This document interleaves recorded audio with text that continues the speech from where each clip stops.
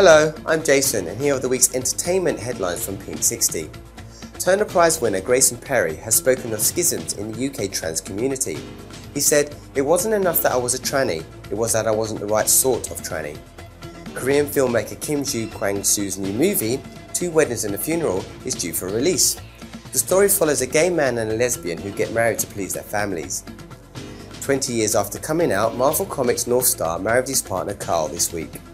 Green Lantern and Batwoman also came out recently as queer comic characters get increased visibility.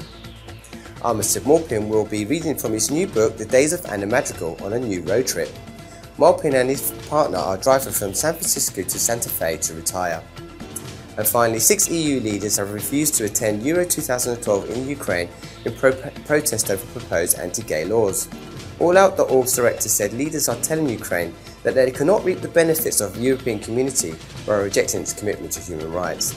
That's all from us today. Join us again tomorrow.